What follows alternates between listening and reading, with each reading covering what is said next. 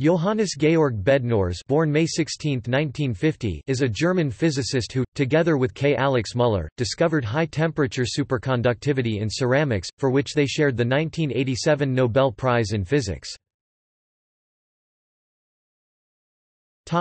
Life and work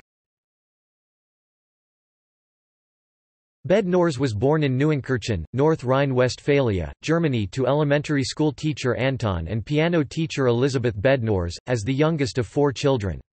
His parents were both from Silesia in Central Europe, but were forced to move westwards in turbulences of World War II. As a child, his parents tried to get him interested in classical music, but he was more practically inclined preferring to work on motorcycles and cars, although as a teenager he did eventually learn to play the violin and trumpet. In high school he developed an interest in the natural sciences, focusing on chemistry, which he could learn in a hands-on manner through experiments. In 1968, Bednorz enrolled at the University of Munster to study chemistry.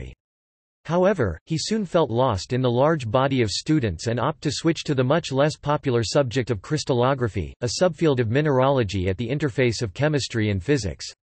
In 1972, his teachers Wolfgang Hofmann and Horst Bohm arranged for him to spend the summer at the IBM Zurich Research Laboratory as a visiting student. The experience here would shape his further career. Not only did he meet his later collaborator K. Alex Müller, the head of the physics department, but he also experienced the atmosphere of creativity and freedom cultivated at the IBM lab, which he credits as a strong influence on his way of conducting science. After another visit in 1973, he came to Zurich in 1974 for six months to do the experimental part of his diploma work. Here he grew crystals of SrTiO3, a ceramic material belonging to the family of perovskites. Müller, himself interested in perovskites, urged him to continue his research, and after obtaining his master's degree from Munster in 1977 Bednorz started a PhD at the ETH Zurich Swiss Federal Institute of Technology under supervision of Heini Granicher and Alex Müller. In 1978, his future wife, Mechthild Wennemer, whom he had met in Munster, followed him to Zurich to start her own PhD. In 1982, after obtaining his PhD, he joined the IBM lab. There, he joined Müller's ongoing research on superconductivity. In 1983, Bednorz and Müller began a systematic study of the electrical properties of ceramics formed from transition metal oxides, and in 1986 they succeeded in inducing superconductivity in a lanthanum barium copper oxide also known as LBCO.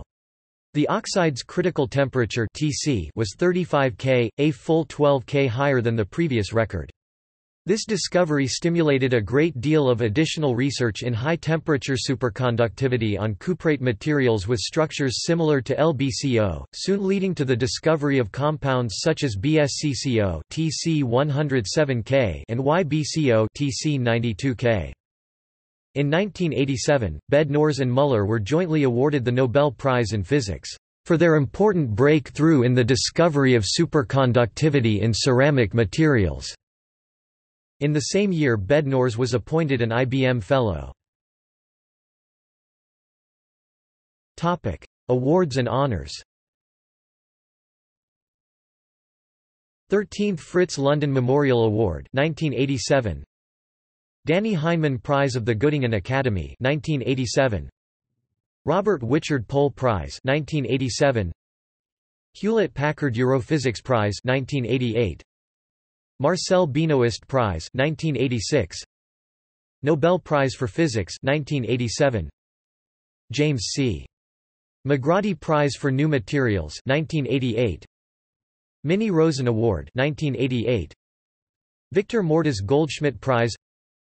Otto Klung Prize 1987 National Academy of Sciences Foreign Associate 2018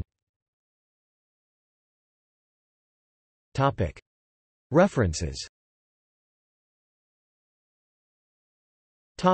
External links. Pioneers in Electricity and Magnetism – Johannes Georg Bednorz, National High Magnetic Field Laboratory